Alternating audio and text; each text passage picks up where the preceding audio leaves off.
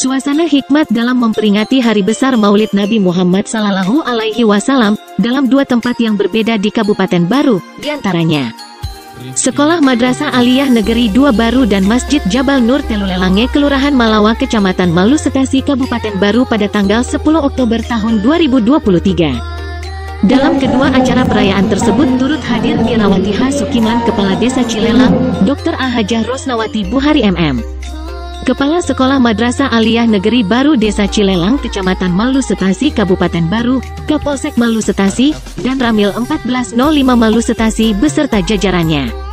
Para tokoh masyarakat serta para warga setempat.